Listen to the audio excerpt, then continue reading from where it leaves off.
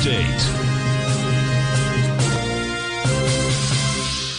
Okay, folks, uh, Larry Pesavento with mid morning update. Um, we've had a pretty big rally from yesterday's big drop. We rallied up to 61% retracements on the S&P and on the uh, Dow Jones Industrials. Uh, Nasdaq went to the 786 and the uh, Russell just barely made the 382. They started to sell off. Folks, pay attention to what's going on right now. And the reason why I say that is, is we've had this huge rally here. Dow up 450 points at one time. And uh, all of a sudden, if you take a look at the banking stocks, the only reason the Dow was up that much was because of Goldman Sachs.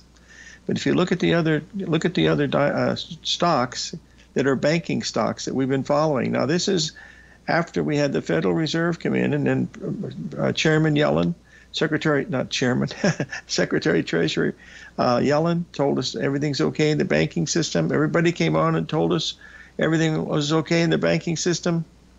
Boys and girls, I got some bad news for you, Bubba. This puppy's going down. Be careful, boys and girls. This is really serious what's going on. What the Federal Reserve did, they should be put in jail for. And I don't care if the woke people get mad at me, it's the truth, and history will bear us out. They put in $4 trillion and it's gone and it's gone and it's gone. And look out if something else happens look at the price of federal reserve uh, first federal bank first republic bank of los angeles. It was going to be bought out. It was up 22% yesterday it's making new lows today. Look at this look at the flagship of our banking system folks jp morgan. Down. Look at bank of america. It's taken out lows it hasn't seen in six or seven years I mean, something's wrong in the banking system, folks. One more big bank, and it's going to be really tough. Now, I, you know, we're all going to be okay. There's going to be great buying opportunities in here, but there's something not right.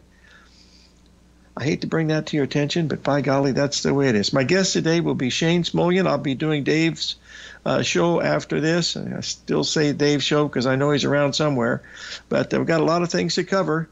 So, um, got a special gift for everybody today. So, I hope you get to tune in and uh, hear what I have to say, and uh, we'll see have some fun here, you know, doing some of these things that we look at here today.